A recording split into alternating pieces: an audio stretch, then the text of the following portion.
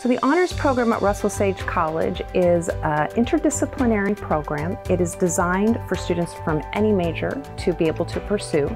Sometimes students in the pre-professional programs worry about completing an honors degree and uh, we have health science students and nursing students who are able to complete this program and have it pretty much blend effortlessly with their degree. Uh, the program is not just a set of requirements though, it's also a community and the honors students find their people in that community. Students have the opportunity to travel nationally to present their research at conferences. We've taken students to Boston, to the National Collegiate Honors Conference. We've also taken them to Seattle, to Denver. These opportunities expose students to a much broader group of intellectuals, scholars, researchers, that they uh, suddenly realize they're a part of that too.